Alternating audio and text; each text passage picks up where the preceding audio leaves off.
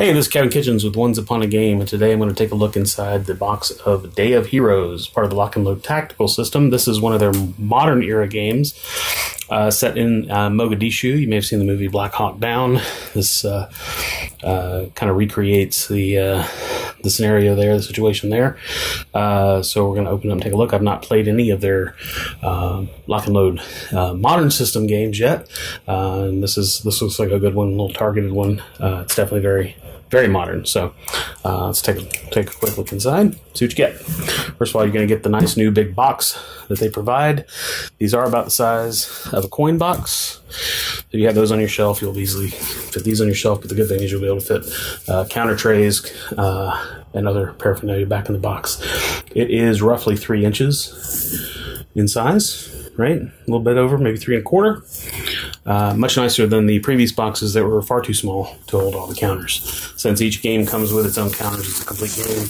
Um, you obviously want to keep them all together and keep them all organized instead of it being a uh, a big system like um, uh, Combat Commander or uh, uh ASL, where you're basically building up your squads and then you know applying them to different to different titles. So anyway, let's open the box and shoot inside.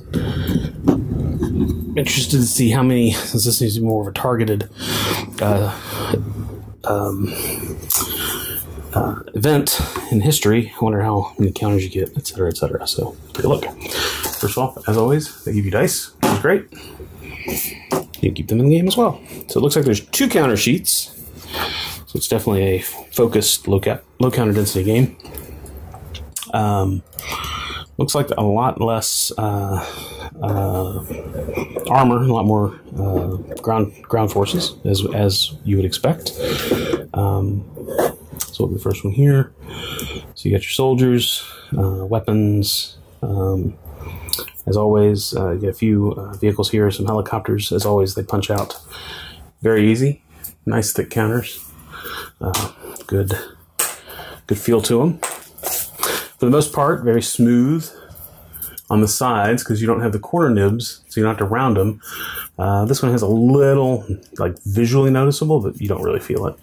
Little nib there on this on the uh, on the sides. Looks like they're uh, cleanly cut right and left, and they're held slightly top and bottom. So that's where you're going to get any potential potential issues. And then you got this sheet, which has no none of the large counters. Uh, has uh, your turn markers, uh, your status markers, things like that, along with your opposing forces. Right. Excellent. So you get two sheets of counters, easy punch. Then you get the lock and load uh, tactical system, modern rules and scenarios. And it's actually a little thicker than I would have expected, so it must have several scenarios here. Uh, 40 pages or so, full color. And um, let's see, you got about 12 pages of uh, module rules, and those are the rules that are going to vary from the core game, which in this case, and that rule book's in here, is the modern era rules, which will be different from the World War II era rules. Uh, so you'd have that book. Um, uh, oh, no, this is interesting. I haven't even pulled out the map yet, but it says Unlike other lock and load tactical modules, Day of Heroes uses squares instead of hexes, so that'll be interesting. When computing distance for attacks, each square is the same as one hex, whether counted diagonally or laterally. Interesting decision. I never played a previous version of this. I guess it shows you right there. I just thought that was a map, but it looks like uh, it may actually be the, the map. I thought it was a, uh, a geopolitical map, not a uh, map map, a game map. Uh, let's take a look here. Go through the module rules, special conditions, uh, road squares, cost all vehicles, two movement points. So got definitely a lot of uh, exceptions here, I guess. You have Black Hawks, you have H6 Little Birds. Uh, you can have helicopter crashes. Ooh. Uh, you can buy the solo game, which is should work with this. It's supposed to work with anywhere or anytime, anywhere, any game. Load tactical. All right, scenario information. Nice new feature they've been adding. If you're new, a good starter scenario is Chalk 2's Run. It only has uh, multi man counters, single man counters, not too many units. So it's a good idea to always use that when playing the game. All right, so let's go. Um, then you get your scenarios, special scenario rules. Does not look like. Does not look like this one has events. Maybe I'm missing the event markers that they normally like to have in lock and load games. But maybe I just missed them. No, usually have events that happen if you take the if you move into a hex and or a, a, in this case a square or events that happen if you um, you know have that have that in line of sight. So this doesn't appear to have any random events that I can tell. The modern rule book This covers everything from 60 to the present. So this would be your Vietnam uh, and forward post Korea. And it, like the other, was about 70 pages or so, including a rule summary. And I have not played any of the modern yet, so I don't know the differences between the two. Obviously, weapons are going to shoot farther um, uh, and be more powerful, I would assume. But just like the World War II book, very well laid out. I assume it's just as easy to, to follow along. All right, we have, in this case, we have a A map. Whereas the other games tend to have geomorphic maps, this includes a single map of the region, and it looks to be, it's single sided, and it is densely, densely urban. I'm not going to zoom out, I'm just going to kind of move it so you can see. Very, very urban map.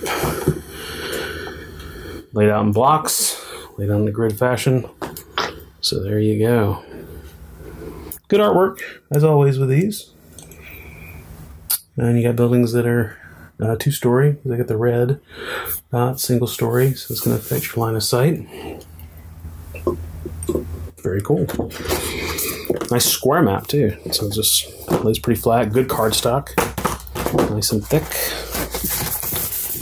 Alright. And then we're going to get, as with most of the games in the series, get a turn track vehicle notes, casualties, Somalis, you get an ordnance chart, sequence of play reference. You're going to get a rules reference card, quick look up for different things. Offboard artillery, it's a nice note. There's no offboard artillery, so at least it tells you that, hey, you know, you're looking for it, it's not there. There you go, Somali roadblocks, American forces, helicopters, Rules reference. Got a player aid card. Doesn't look like I see hero markers for being called Day of Heroes. I guess because they're all heroes in this. Um, but maybe I, again I just missed them. I'll look when we go back to the recap.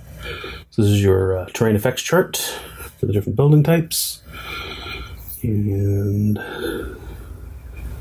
for the uh, terrain modifiers like wreckages and blocks and smoke. And then you got your direct fire and ordnance fire table charts. And you got the big box. So you got your reference card, you got your rules reference, sequence of play slash ordnance chart, turn tracker. Nice, nice square map. Take a quick, quick measure here. It's nine, so it's 18 by 18. Yep, nine by nine. Uh, one inch, one inch squares. It would appear. One, two, three, four, five, six, seven, eight, nine, eight and a half. This is an eight and a half by nine, maybe.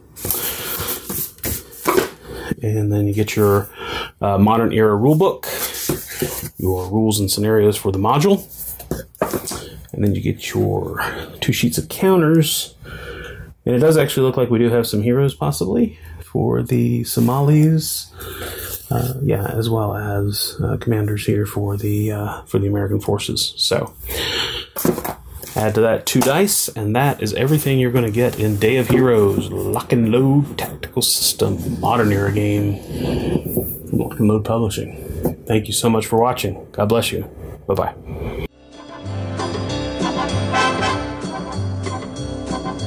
Oh!